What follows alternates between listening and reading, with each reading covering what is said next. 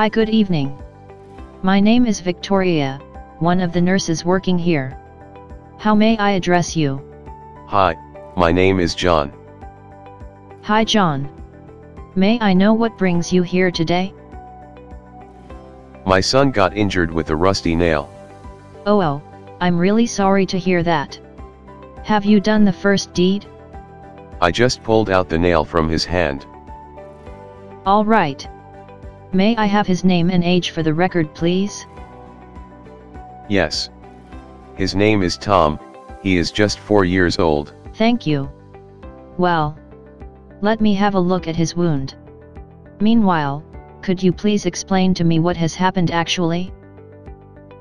The accident happened about 25 minutes ago at the local park. Tom put his hand through a rusty nail, when he picked up a plank of wood to play with. It was me who removed his hand from the nail. Thank you John for your briefing. From my examination, Tom's hand should be cleaned properly and dress the wound, also he will need a tetanus injection. Well nurse, I don't want my son to receive the tetanus injection now. Because it's too stressful. John.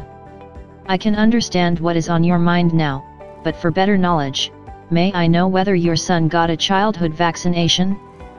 No I didn't receive it. Actually I forgot to bring him for his childhood vaccination. I am really sorry John. Your son needs the injection immediately as the child did not receive the vaccination as part of the childhood vaccination program.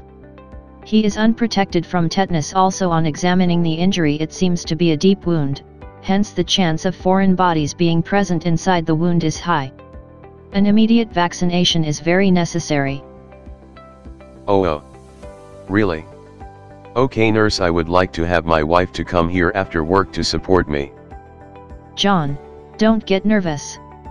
We are here to care for your son and to support you as well. Please listen to my words. Yes nurse, but... John. Please listen to me. I'm not panicking you. What I am trying to convey to you, is the seriousness of having the vaccination. Okay. Alright. Now listen to me carefully. Let me explain to you, so that you will understand the seriousness of the condition. Okay. Tetanus bacteria usually enter the body through a dirty puncture wound cut scrape or some other break in skin. Once inside the skin they multiply and produce a toxin or poison that affects the body's nerves. This toxin causes severe muscle spasms cramps and seizures spasms in the jaw muscles produce lockjaw.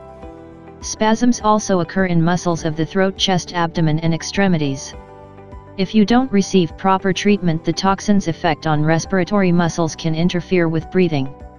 If this happens it may even lead to death due to suffocation, a tetanus infection may develop after almost any type of skin injury major or minor. Did you get me John? Oh god. I haven't heard of these many complications.